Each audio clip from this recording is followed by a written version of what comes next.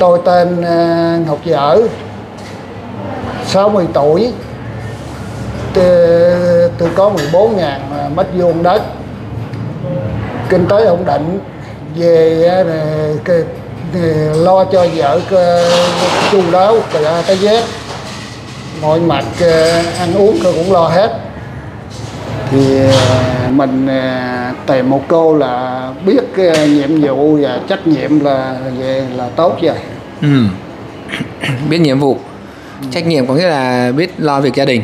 À, có cần ờ, phải biết làm gì không hay là về nhà chỉ cơm nước nội trợ thôi? Không thì ở nhà thì giữa nhà cơm nước nấu không được thì ở nhà coi như tôi cũng cơm nước thì nấu coi như là bình thường. Ở nhà không thôi? mình nấu cơm nước ờ, bình thường mà. Đâu có nghĩa là bây giờ chú lấy vợ về chỉ có ở nhà thôi.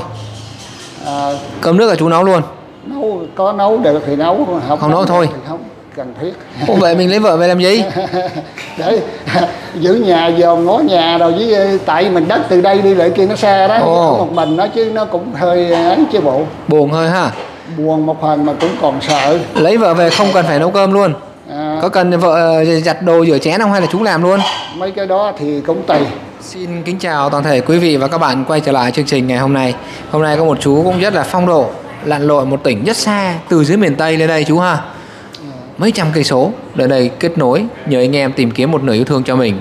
Thì liệu ngày hôm nay chú có tìm được ai hay không? Thì xin mời mọi người cùng đón xem. Rồi thay mặt anh em trong chương trình, xin chào chú nhé. Ờ, xin chào à, nhà bạn Đức Tấn vì à, anh chị em à, các bạn mọi Chú ngồi dựa ra sau đi cho thoải mái đi. Ngồi tựa ra sau thoải mái rồi. Chú tên gì bao nhiêu tuổi rồi? Chú đến từ đâu? tôi tên Nguyễn Ngọc Dở sinh Rồi. năm 1964 hiện ngụ tại à, Cần Duộc Long An Chú 60 tuổi ha. Đến từ Long An. Hôm nay chú đi từ mấy giờ? nói chung hồi qua đi à, ở nhà nghỉ Ủa nhà nghỉ ở đây hả? nghỉ xích ngoài đây Trời ơi vất vả dữ ha Rồi Thế hôm nay chú lên đây chú chia sẻ chút xíu về bản thân mình nào Năm nay mình à, 60 tuổi rồi Cái tình trạng hôn nhân của mình sao Như tình trạng hôn nhân thì vợ mất có đứa con con à, ở ngoại rồi à, nó thỉnh thoảng nó mới về. Ừ. Vậy là bây giờ chú sống một mình một nhà hả? Một mình một nhà. Ồ Vợ mất bao nhiêu năm rồi chú? Vợ nay hai mấy năm rồi. Hai mấy năm rồi? Rồi. Trời ơi. Vậy là hai mấy năm nay chú sống một mình luôn hay sao? Cũng vẫn sống một mình. Bên Huy Hùng có bán nước cốt nhạo ủ 6 tháng thì nó mới được như cái hình bên cái chai này. Chị à, nhức mỏi này, đau nhức này, các vấn đề về xương khớp, huyết áp cao. Quý vị và các bạn ủng hộ Huy Hùng à, mua hàng thì hãy gọi điện số điện thoại trên màn hình này. Huy Hùng sẽ giao hàng tận nơi.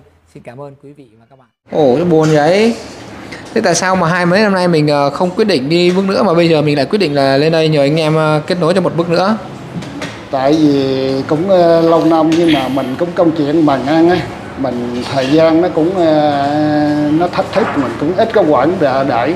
Hôm nay cũng ờ, thời gian qua rảnh rỗi đó mới ờ, lên đây để kết nối đó Ồ Thế thì chú ờ, trong mấy năm kia thì ờ, sao mà mình làm gì mà bận rộn dữ vậy không đúng ra công việc làm thì nó làm thì nó, nó dướng công việc rồi làm là cái- hết cái việc này tới việc khác. Nó nó bận rộn lắm chứ thấy nó, nó khó khăn trước mắt là phải giải quyết liền chứ đâu có để nó kéo Thế bây giờ mới rảnh mới đi nối yêu thương hả chú ha. À, Rồi chú ờ, chia sẻ chút xíu bản thân mình coi bây giờ mình ờ, đang làm công việc gì nè? Mình ờ, hiện tại thì ờ, bây giờ thì Nó lớn rồi chú mình hiện tại bây giờ thì ờ, nuôi thủy sản trồng cây ờ, ăn trái mặt vật ờ, Mình nuôi thủy sản nhiều không? Nuôi thủy sản cũng ờ, 14 ngàn mấy. Mình trồng nhiều không chú? Được bao nhiêu công? thì trồng thì lặt vặt cũng được vài ngàn mét vuông à. Vài ngàn mét vuông ha Rồi Vài ngàn mét vuông là, rộng lắm á. Cũng ờ, không ờ, gì. Nhưng chủ yếu là nuôi thủy sản mạnh hơn. Cho nên là trồng cho nó có cảnh. Chú ngồi tựa ra sau thoải mái đi. Có cảnh có đầu cho nó dung tươi. Chú trồng trồng cái gì nè? Như cái ổi cái nhãn. Rồi còn thủy sản thì mình nuôi cái gì?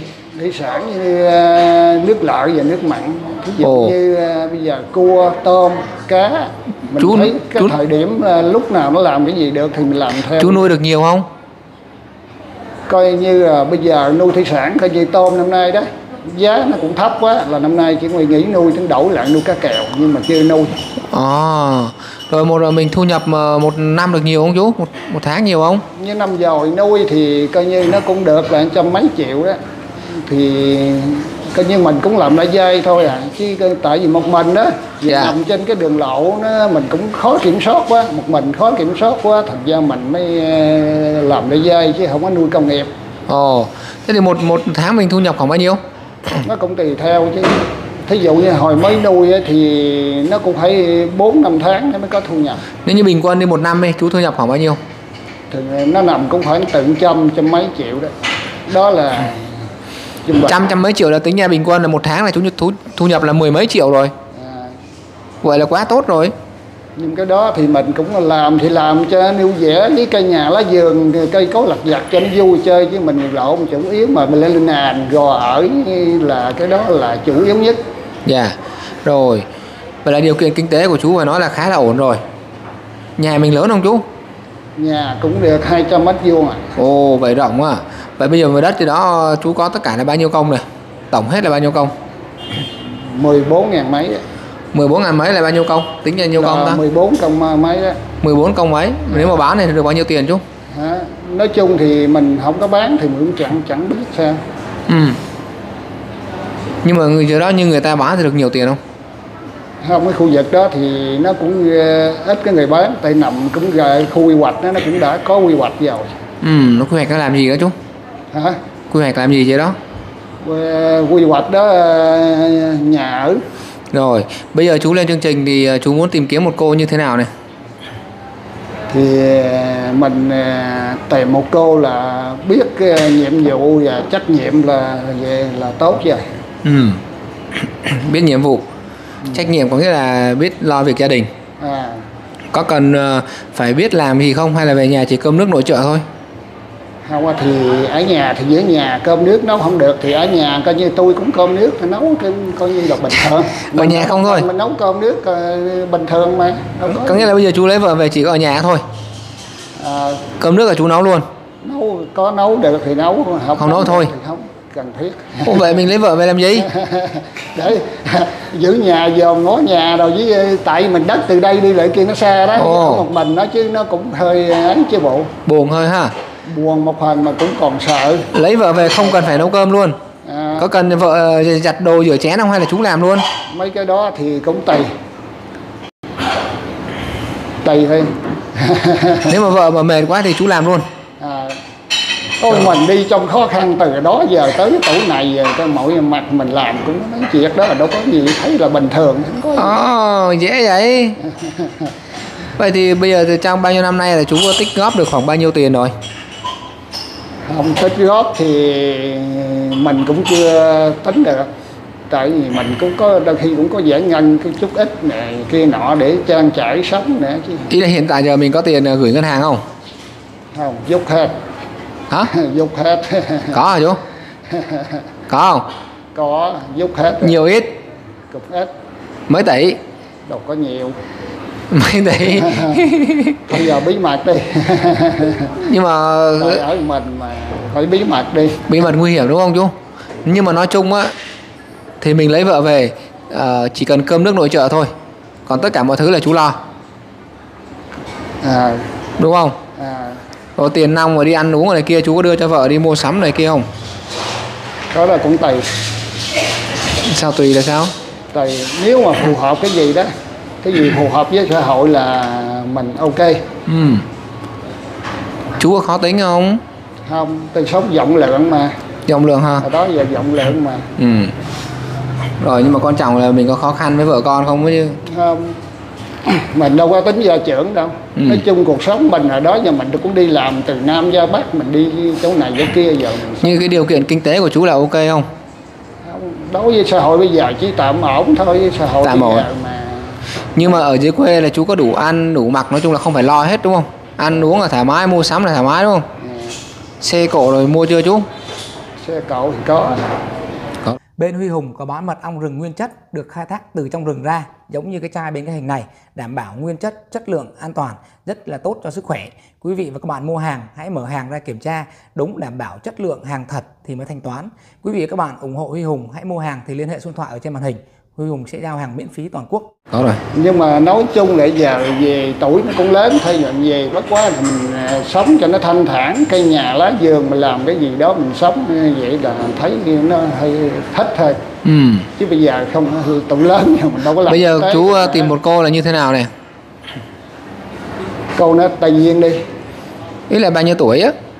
Ờ, từ 45 cho tới à, 60 đi 45 đến 60 có cần đẹp không? Hay là bình thường thôi? Không cũng bình thường được rồi Bình thường thôi. Không cần đẹp. không cần đẹp có đẹp thì nó cũng tốt hơn Cơm nước cơm nước nội trợ thôi, không cần về không phải cần phải làm gì hết. thì thích làm không thích thì thôi Thích thì làm thích thì thôi. à, Ví dụ như cô nào mà muốn làm ăn buôn bán á, cần một số vốn khoảng tầm ờ, vài ba trăm thì chú có đầu tư được không? Không ờ, nói chung ờ, buôn bán thì đầu đường xó chợ thì mình không thích còn làm kinh tế buôn bán theo kinh tế thì thích Kinh hơn tế đàng hoàng chứ, mở tiệm đàng hoàng chứ, tiệm uốn tóc hay là massage hay là spa gì đó làm nail rồi đó. à, mấy vấn đề đó cũng ờ, Được cái chứ. được Ừ, Đầu tư được không chú? à, được Tầm vài ba trăm đầu tư được không? ha, Tầm hai ba trăm có đầu tư được không? cũng được Cũng được. Ồ, vậy là trong vốn của chú ngân hàng bây giờ cũng có vài tỷ rồi đó. Khiêm tốn nữa. Rồi, thế chú ờ, xem chương trình này lâu chưa? cũng ờ, mới xem chương trình đây cũng nay cũng có mấy tháng à. Rồi chú suy nghĩ như thế nào mà chú quyết định lên đây?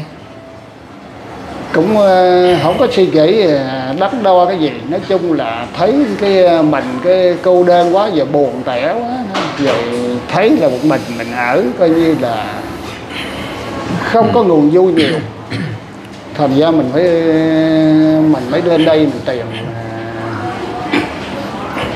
Không có nhiều niềm vui ừ, nên đây là phải tìm. à, Rồi, thì thiếu cái gì thì tìm cái đó chú ha. à, đúng. Không sao hết. cần cái gì tìm cái đó Cần cái gì thì tìm cái đó thôi. Cuộc sống mà đâu có biết được thế nào đâu ha. à, Rồi, thế thì ừ, chú ở nhà một mình chắc cũng khá buồn. buồn nhưng mà buồn ở nhà tại mình cũng có dắt ờ, mấy cái men đó để hát cho vui vẻ À, thế chú có ăn nhậu gì không? không có nhậu không thích à, Không có ha. à Nói chung là vui vẻ hòa đồng. Và hôm nay lên đây thì trước khi kết thúc thì chú có một lời hứa nào nhắn đến các chị các em để cho các chị em có những cái niềm tin với mình nào? thì hôm nay lên đây thì cũng có một cái thông điệp mới là mình à, gửi cho các cô các chị và nhất là người bạn thân có một cái nguồn vui vui và hạnh phúc nhiều Ừ. Nếu mà anh nào mà thấy em như sao rồi về đến với anh thì sao? à, Về với về với chú thì chú hứa làm sao? Chú nói cho người ta biết có niềm thì tin. về với chú thì chú à, bảo đảm là chăm lo cho cuộc sống coi như à, hoàn chỉnh Lo hết từ A đến Z luôn. À, nói chung thì thế, tới Z thì họ thấy từ từ A chơi tới à, H hay chơi tới Z thì Wow. không nổi nó, nó đâu, đâu có dễ gì hoàn Nói chung là lo được, nói chung là lo được ok ha. à, Rồi. lo được phần nào là Này. lo thôi chứ Rồi thì hôm nay thì anh em ờ, cũng xin phép hỏi chú là chú có cam kết ờ, tất cả những thông tin mình ờ, chia sẻ là đúng và mình chịu trách nhiệm trước pháp luật với những thông tin mình đã chia sẻ không? có Rồi mình có đồng ý cho mọi người sử dụng hình ảnh và video của mình để chia sẻ lên không gian mạng và cam kết là không gỡ xuống chú đồng ý không? Chia sẻ khắp thế giới luôn đó giờ nha, không gỡ xuống ha. giờ Rồi cũng xin ờ, thay mặt anh em ở đây chúc chú luôn mạnh khỏe, hạnh phúc, bình an, đặc biệt sớm tìm được một nửa yêu thương của mình. Rồi, cũng ờ, xin cảm ơn toàn thể quý vị khán giả đã đón theo dõi chương trình ngày hôm nay. Nếu ai muốn kết nối với chú thì hãy liên hệ với anh em qua số điện thoại trên màn hình. Anh em sẽ hướng dẫn chi tiết cụ thể. Còn bây giờ xin cảm ơn và xin Cảm kính chào. Mấy chai nữa? Hôm nay cô lấy hai chai nữa. Cô lấy hai chai hôm trước giờ cô uống mấy chai rồi? Từ từ ngày cô uống là cô uống 6 chai là của cô hoàn toàn là là xong. Bằng cái tình trạng cô bệnh của không phải cô. uống nữa. Còn bây giờ là cô lấy cho em cô. Ồ, thế thì cô uống nó bớt bớt nhiều rồi hả? Ừ. Thế Cô trước- uống 6 chai, cô uống 6 chai là bệnh của cô hoàn toàn là nói chung là ổn được 75 80%. Ồ vậy là quá tốt rồi. Thế thì trước khi cô uống thì tình trạng bệnh cô như thế nào? trước thì à, cô thì cái thứ nhất là đau cột sống cổ Dạ. Đấy, đau nó nó bị à, thái hóa ba đốt cột sống cổ với lại à với à, ở lưng này nó nó đau ngang lưng thế Dạ. rồi là nó đau xương hông nó đau xương hông xong rồi nó đau xương đầu gối xương chân Ồ, dạ. ừ. Ừ. Thế là thế với này là nó, nó kiểu là như, như là cái kiểu là nó đau cái dây thần kinh đấy, Nói chung nó là các- chẳng hai chân này Nói chung là cô bị vấn đề về xong rồi xương chân khớp. tay ờ, cảm giác là chân tay nó cứ như là tê bì ấy thì Dạ. cô uống à, chai thứ nhất đến chai thứ chai thứ nhất là nó đau già lên nó đau già nhiều lắm rồi, là, nó tông thuốc. là chưa có ăn thua gì cả Dạ. xong rồi cô uống đến chai thứ hai thì hôm ấy cô gọi hai chai thì cô uống chai thứ nhất Dạ. thì không ăn thua gì mà nó lại đau già lên Dạ. thế cô à, uống đến chai thứ hai thì được một lửa nữa thì là tự nhiên nó cảm giác nó nhẹ mà cái cái cái cột sống cổ này là quay đi quay lại Dạ. này nó dễ dàng Rồi, trước nó kia tông- cô chỉ quay bên trái chứ không quay về Ồ, bên phải được là xưa cô cũng bị nặng đấy. thế mà cúi lên cúi sướng thế mà cái đầu gối cô này là là cô đi tế hay cô đi múa là nó ngái nó khó chịu như bây giờ đảm bảo là cứ đứng hàng trên luôn vậy là tốt. quỳ đi Chúc tế mừng đi cô. múa quỳ đứng hàng trên Rồi, luôn thế thì cô uống được mà ba ba chai này thì nó bớt từ từ rồi ha. Uống đến chai uống đến chai đến cuối chai thứ hai đến nửa chai thứ hai nó thì bớt mới rồi. bắt đầu với bệnh mới bớt nhá xong là cô uống đến chai thứ sáu là nói chung là giờ là hoàn thiện Dạ. thế bây giờ cô gọi hai chai này là cô cũng gọi cho em trai cô Rồi con cảm ơn cô, trước hết là con chúc mừng cô nhá. Đó cái vấn đề xương Dạ. khớp nó cũng cực lắm, như vậy là quá tốt rồi. Bây giờ là cô ở đâu? Tỉnh nào? cô ở thái bình Thái Bình rồi thì con cảm ơn cô nhá. Cô uống tốt như vậy thì cô giới thiệu cho con ha, để cho mọi người biết. ừ. Rồi con chào cô. Ừ. Để con chào cho. Dạ dạ. gửi ngay nhá Dạ dạ.